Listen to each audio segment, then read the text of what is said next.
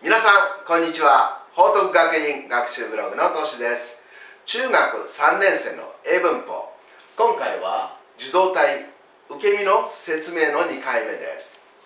この受動体というのは何々されるとか何々されたという意味を表す文でしたね。形は主語プラス B 動詞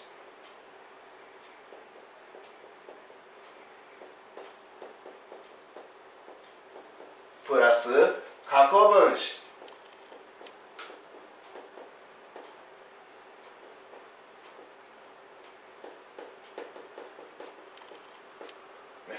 主語プラス B 動詞プラス過去分詞。このようになっていましたね。例えば例1私の母はこの部屋を掃除します、えー、こういう日本語に合う英文を作るとき能動体の場合は、えー、掃除をしたお母さん My mother が主語になりますが、えー、受動体受け身の場合は掃除をされた部屋が主語になります。同じ意味の部分を能動体と受動体で書いてみるとまず能動体の場合は My mother お母さんが掃除をしますという意味なので My mother cleans this room My mother cleans this room ね普段この部屋を掃除するという意味ですね。これを受動体にすると掃除される this room が主語になって this room その次は B 動詞の is そして cleaned えー、クリーンは規則動詞なので過去形と過去分詞同じですね。cleaned そして誰々によってとつなぐときには by そして人が来ますね。By my mother. This room is cleaned by my mother. これで私の母はこの部屋を掃除しますという意味の能動体の文章受動体の文章2つが完成するわけです。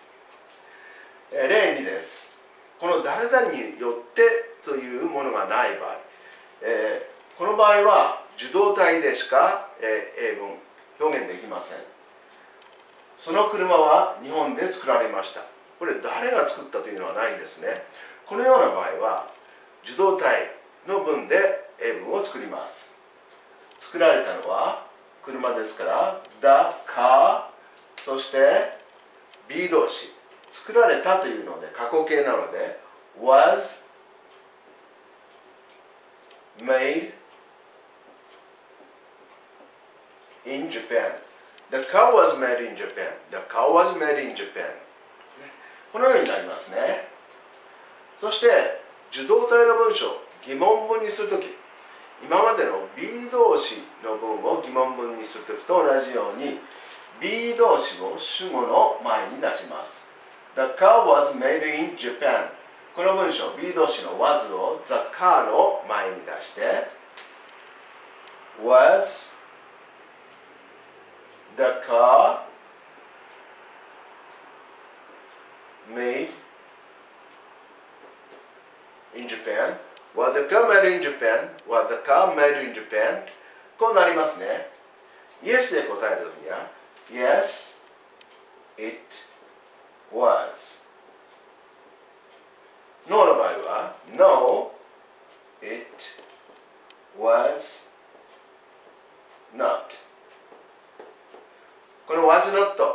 して wasn't でもいいんですね。そして疑問詞を使う場合。ここではどこで作られたか聞きたい場合ですね、えー、どこでですから疑問詞の where をここで作った疑問文の前に置きます。ですから最初に where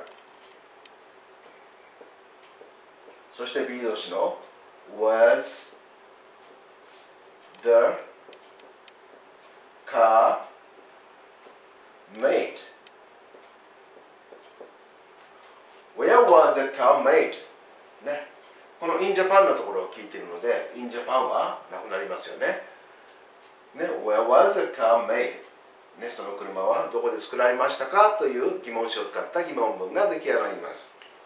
また否定文を作る場合今までと同じように B 動詞の後ろに not を入れますですから The car was made in Japan これを否定文にする場合は The car was not